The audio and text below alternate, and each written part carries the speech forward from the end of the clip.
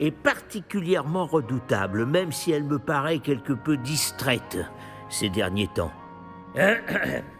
Le professeur Weasley nous a demandé de vous donner des cours particuliers en dehors du cursus habituel.